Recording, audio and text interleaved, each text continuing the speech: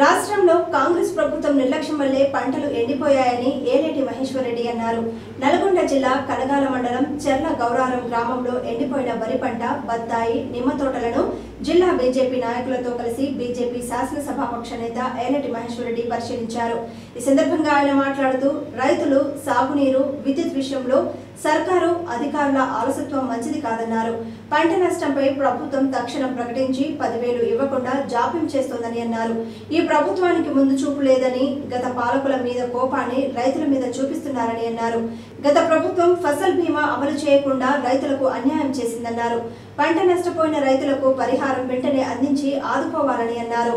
రాష్ట్ర వ్యాప్తంగా నెలకొన్నటువంటి కరువు మరి ఎంతో ఆశలతోటి రైతాంగం పంట వేసుకుంటే కనీసం నీళ్ళు కూడా పూర్తిగా ఇవ్వలేనటువంటి దుస్థితిలో ఈ రాష్ట్ర ప్రభుత్వం ఉన్నది. ప్రాజెక్టులలో నీళ్ళుండి కూడా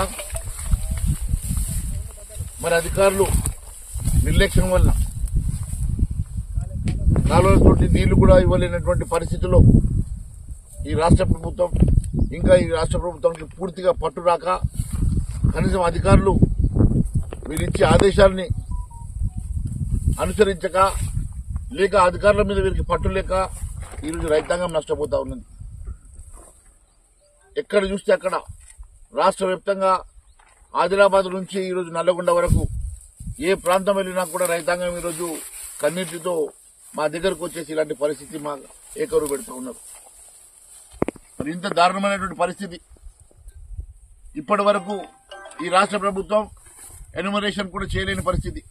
ఎన్ని ఎకరాలు పంట నష్టం జరిగింది? మరి రైతాంగాన్ని ఏ రకంగా ఆదుకోవాలా? మరి రైతాంగానికి ఎకరానికి ఇంత పంట నష్ట పరిహారం ఇవ్వాలన్న ఆలోచన లేదు కానీ ఎన్నికలు వచ్చినాయి. ఓట్ ఎట్లా అడగాలా? ఓట్లు ఎట్లా కొనుక్కోవాలా? ఓట్లు ఏ రకంగా మరి ఎన్నికల్లో మేము అబద్దాలు చెప్పేసి ఓట్లు దండుకోవాలని ఆలోచన చేస్తా ఉన్నారు తప్ప ఈ ప్రాంత రైతాంగానికి వారి కష్టాలను ఏ రకంగా గట్టెక్కించాలా? వాళ్ళని ఏ రకంగా ఆదుకొని ఈ ప్రాంత ప్రజానికానికి మరి నష్టపరిహారం ఇవ్వాలని ఆలోచన లేదని చెప్పి నేను తెలియజేస్తా ఉన్నాను. నేను ఒకటే డిమాండ్ చేస్తా ఉన్నాను రాష్ట్ర ప్రభుత్వాన్ని.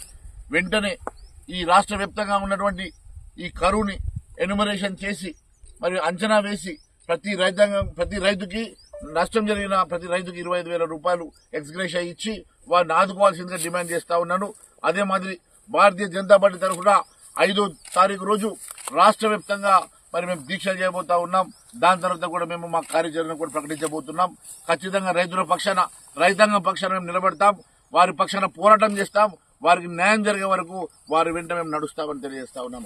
ఈ రాష్ట్ర ప్రభుత్వం ముఖ్యమంత్రి గారు ఎంతసేపు ఏ ఏ ట్యాక్స్ పెట్టాలా ఆ ట్యాక్స్ పెట్టాలా బి ట్యాక్స్ పెట్టాలని ఆలోచన తప్ప ఈ ప్రాంత రైతాంగాన్ని ఏ రకంగా ఆదుకోవాలని ఆలోచన లేకపోవడం నిజంగా శోచనీయమని చెప్పి మరి మేము తెలియజేస్తూ రైతుల పక్షాన మేము ఖచ్చితంగా పోరాటం చేస్తాం. వారి గొంతుకై రైతుల పక్షాన్ని నిలబడతామని మరొకసారి తెలియజేసుకుంటూ మరి ఈ ధరణీయమైనటువంటి పరిస్థితి చూస్తే చాలా బాధాకరంగా ఉందని తెలియజేస్తాం.